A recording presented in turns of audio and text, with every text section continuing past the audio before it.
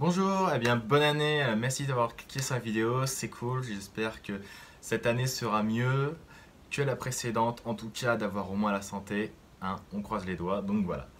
En tout cas, bah, bienvenue sur ma chaîne, en tout cas pour toutes les nouveaux et nouvelles qui se pointeraient là. Euh, je parle donc sur ma chaîne d'effondrement, de, sacs d'évacuation, de rations d'urgence, de tests de différents matériels, de nourriture d'urgence, donc vraiment énormément de choses qui englobent euh, la survie, la résilience, même si euh, ce sera un peu progressif pour aller sur vraiment d'autres domaines et englober euh, la nature dans l'ensemble et les randonnées, même si c'est des choses que j'ai envie de faire à venir. Du coup, sur cette vidéo, je vais vous aborder tous les thèmes principaux que je vais essayer d'aborder sur cette chaîne, sur ma chaîne, là, cette année. et principalement, donc commencer par l'effondrement. donc, le, papa, on va dire entre guillemets, un peu de l'effondrement francophone, c'est Pablo Servigne. Il a écrit ce livre, donc Comment tout peut s'effondrer, qui est vraiment hyper intéressant, qu'il a coécrit avec Raphaël Steven et qui explique un petit peu la, mécanique de voilà l'effondrement, ce genre de choses. Donc l'effondrement, qu'est-ce que c'est? C'est l'effondrement de notre civilisation industrielle.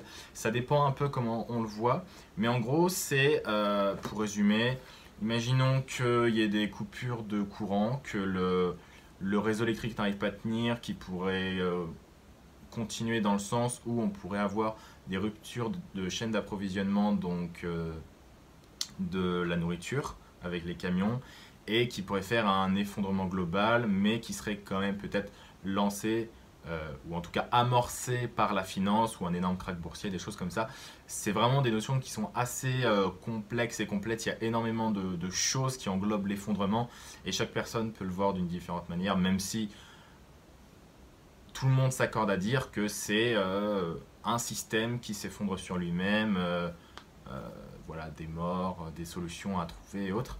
En lien avec l'effondrement, le, le risque de problèmes climatiques, justement en lien avec le sac d'évacuation que j'ai pu faire sur ma chaîne, parler, aborder. Euh, donc voilà, c'est des choses comme ça. Si jamais vous êtes euh, un petit peu flou dans tout ça et que vous vous demandez euh, qu'est-ce que c'est, à quoi ça sert et autres, eh ben voilà, je vous laisse les vidéos sur ma chaîne, regardez tout ce qui pourrait y avoir, qui pourrait peut-être vous intéresser, vous concerner, vous, même vous sensibiliser à ça et aller progressivement vers ce genre de choses. Et du coup, concernant, l'effondrement, il y a une vidéo qui est très bien, que je vous conseille énormément d'aller voir. Elle est assez longue, je crois, elle dure à peu près deux heures ou un peu plus. Mais elle regroupe euh, beaucoup d'autres éléments, d'autres vidéos, d'interviews, de collapsologues donc comme Pablo Servigne et d'autres, et des personnes qui sont un petit peu des écologistes, des économistes. Il y a plein de choses à ce niveau-là. Elle est vraiment super bien. Donc la vidéo qui est super bien, que je vous conseille d'aller voir, c'est l'effondrement de notre civilisation industrielle qui est de la chaîne Absol Vidéo. Euh, vraiment super bien. La vidéo est qualitative de fou euh, et je j'aime bien la regarder. Donc je vous conseille d'aller la voir. Je vous mets une fiche là. Donc voilà, concernant l'effondrement possible, donc n'hésitez pas à regarder toutes ces vidéos-là qui concernent euh, Yves Cochet, donc Pablo Servigne, Absol Vidéo, et plein d'autres qui font Thinkerview également, je crois qui ont une chaîne sur YouTube et qui font énormément d'interviews qui sont vraiment hyper intéressantes. Euh, donc n'hésitez pas à aller voir ces vidéos-là, s'il vous plaît, si vous êtes intéressé à ces questions-là d'effondrement, et aussi bien pour avoir une vue critique un petit peu de l'ensemble. Euh, et du coup, donc parler de rations d'urgence, donc c'est des choses comme ça que j'ai déjà pu aborder sur ma chaîne, donc n'hésitez pas à aller voir les vidéos. Je vous mets des petites fiches. Donc voilà la différence entre NRG5 et Sylvan Océan. Moi perso, j'ai opté pour la Sylvan Océan pour mon sac d'évacuation. Concernant la NRG5, euh, ce qui est ressorti, c'est que c'est un peu bof, je trouve. Et euh, il me reste un certain nombre de plaquettes. Et du coup, je me suis dit que j'allais les passer, euh, j'allais les cuisiner, disons. Donc voilà, j'utiliserai cette ration-là pour faire des gâteaux, donc des crêpes principalement. Donc je vous ferai une vidéo sur ça, je ne l'ai pas encore faite, mais je vous ferai une vidéo sur ça. Donc vous aurez plus d'infos à venir. Euh, du coup, concernant l'effondrement, risque d'effondrement, on peut parler aussi du troc qui pourrait possiblement être une... Euh, on va pas parler de valeur refuge, mais quelque chose qui pourrait se développer plus après. Donc euh, peut-être dans le cadre d'avoir voilà, des piles, des choses qui auraient une certaine valeur marchande une fois l'effondrement passé. donc voilà, possiblement des choses comme ça. Aussi, donc en lien avec l'effondrement euh, possible de notre civilisation thermo-industrielle, euh, je voulais parler des radios sur la chaîne. Euh, j'ai encore très peu pu le faire. Je ferai des vidéos explicatives avec des démos, des tests. là, ma, ma radio, c'est la Baofeng UVR5, donc, qui est quelque chose d'assez polyvalent à ce niveau-là. quelque chose qui peut donc aussi bien servir dans le cas, donc, entre guillemets, de la fin d'un monde et pas du monde, mais la fin d'un monde. Et sinon, euh, être utilisé dans le cadre euh, de, problèmes climatiques, si jamais il y a des inondations ou des incendies ou autres, et d'avoir la capacité d'être euh, autonome en communication. Donc voilà, je parlerai de la radio également, des, radios dans l'ensemble sur la chaîne. donc, quand on parle d'effondrement, il y a un petit peu des questions qui viennent en plus en lien avec le survivalisme, euh, les preppers, euh, les... Voilà, plein de choses comme ça, des choses qui sont un petit peu des, notions un petit peu différentes des unes des autres. Donc il y a évidemment les preppers qui ont ma stock de conserve, les preppers également. Euh, enfin, c'est un petit peu la, même chose à ce niveau-là, au cas où je vous laisse regarder les, vidéos de la chaîne qui sont en lien avec ça. Donc voilà, j'en parlerai également d'avoir un minimum de stock de conserve en termes de résilience alimentaire. Donc pour les conserves et les survivalistes et les preppers, euh, on parle de résilience alimentaire, le fait que euh, si jamais les chaînes d'approvisionnement sont coupées, combien de temps personnellement tu as de nourriture chez toi?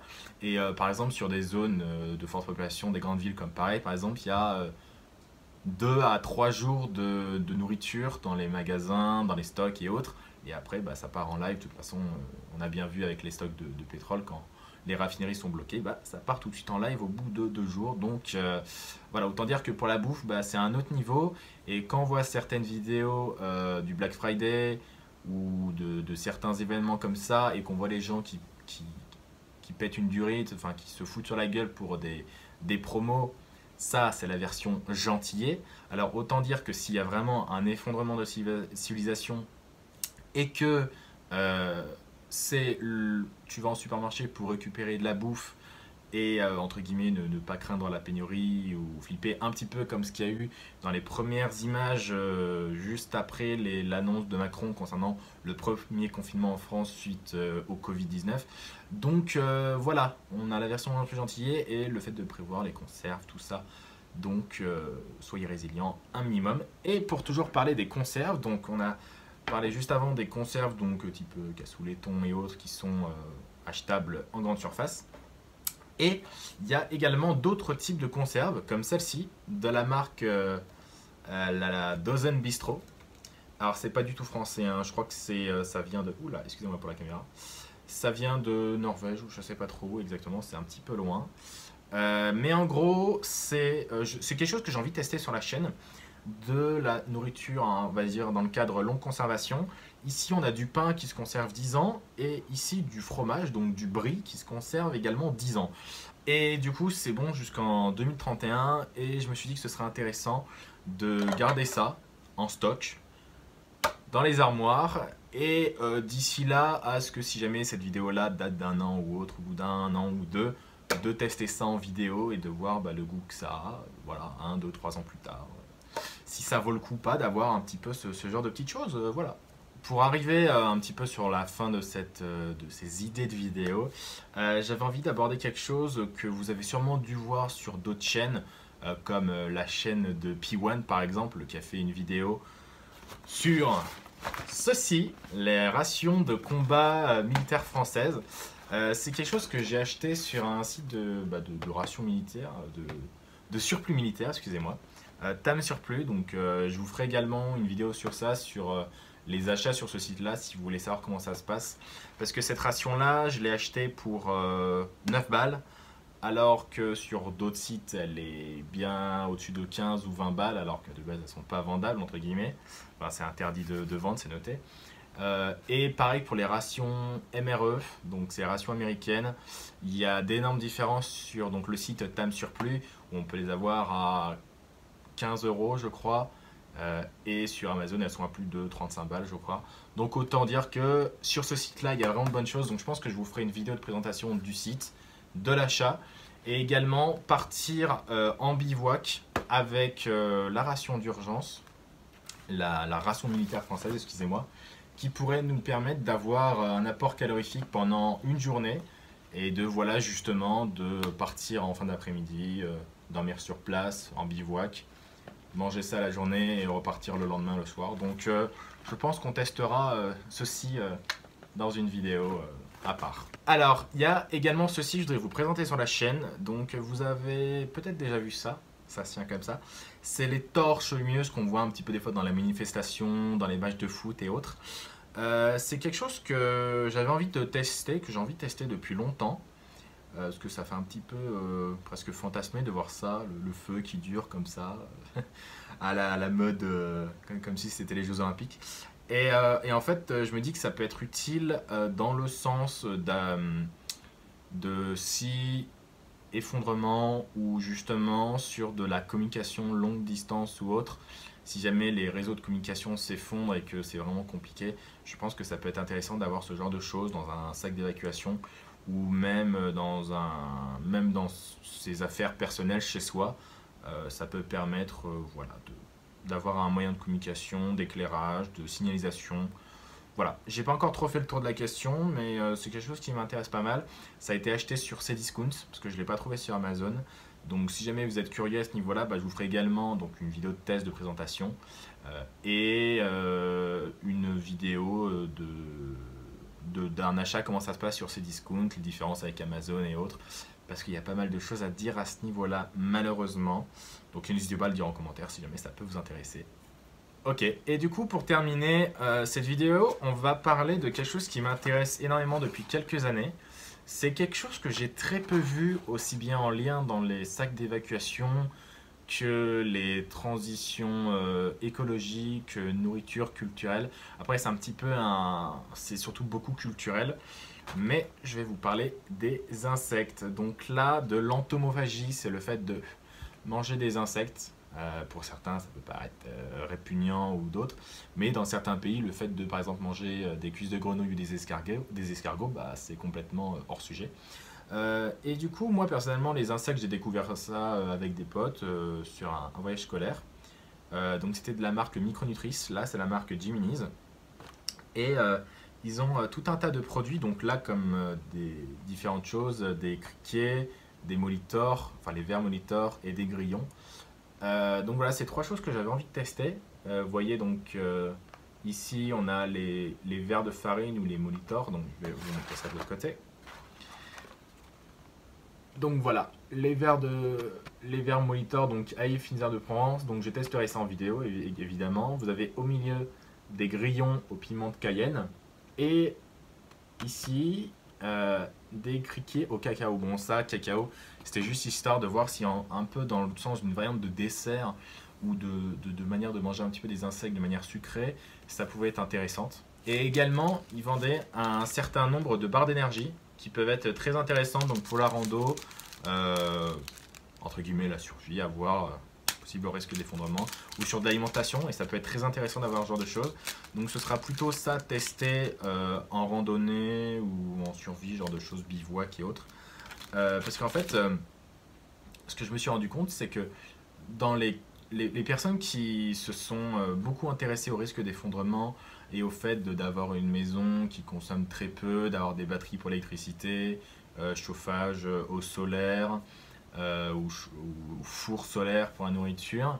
au niveau de l'alimentation, c'est pratiquement, principalement végétal, poules, donc maraîchage et poules et animaux de, basse-cour, entre guillemets. Mais l'aspect aux insectes est quelque chose que je n'ai retrouvé nulle part ailleurs que j'ai trouvé euh, nulle part d'ailleurs. Et euh, c'est quelque chose qui m'intéresse énormément dans le sens de l'entomophagie, donc de manger des insectes.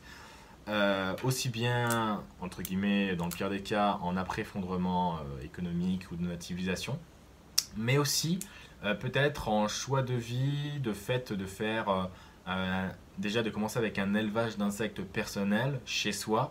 Donc pour l'alimentation humaine, c'est quelque chose qui se fait beaucoup dans d'autres pays, donc euh, principalement euh, Océanie, euh, Asie, Thaïlande et autres, avec les verres de farine, les œufs de fourmis, enfin il y a plein de choses, énormément de choses, de documentaires sur ça qui sont hyper intéressants également. Je vous conseille d'aller voir, ne serait-ce que de manière juste d'être curieux sur ça. Et c'est voilà, je me dis que les insectes, ça peut être un avenir très intéressant sur la culture. Si jamais y a effondrement, ou même s'il n'y a pas d'effondrement, mais au moins d'avoir de nouvelles, euh, de nouveaux apports en nourriture, d'essayer de nouvelles choses, d'avoir une transition lente avec des plats déjà existants, et peut-être que au fur et à mesure apporter ça sur de la nourriture euh, humaine classique, en salade, en dessert, en plat, ou uniquement de manger ça, de faire soit de l'élevage euh, uniquement pour soi, pour sa famille, et d'être capable de sortir 100-200 kilos de, de verre en, quelques mois, ou de criquets ou autre, parce que je parle des vers parce que c'est le plus simple à élever, euh, et c'est aussi ceux qui a le meilleur rendement dans un plus petit espace et qui est hyper simple à récupérer. Euh, et voilà, à conditionner et à, et à, se nourrir derrière avec par rapport aux criquets qui pourraient sauter, les grillons, enfin le bruit et compagnie. Euh, donc voilà, si jamais vous êtes intéressé comme moi par tout ce qui concerne donc les insectes, nourriture d'urgence, euh, collapsologie, ration, euh, randonnée, bivouac, radio, ration militaire, éclairage et autres, bah, n'hésitez pas à vous signaler dans les commentaires, à mettre un commentaire, à vous abonner. On a dépassé les 40 abonnés, on approche des 50, peut-être les 100 et tout, ce serait cool. Je sais qu'il y a de super retours du point de vue un peu des survivalistes, des sacs d'évacuation. Donc euh, voilà, merci en tout cas à vous de vous être abonnés et de faire tourner les vidéos, c'est cool. Euh, et puis bah, voilà, à toutes les personnes qui découvraient cette chaîne qui sera encore là, bah merci, euh, merci encore. Et, et puis à bientôt pour de prochaines vidéos. Allez, ciao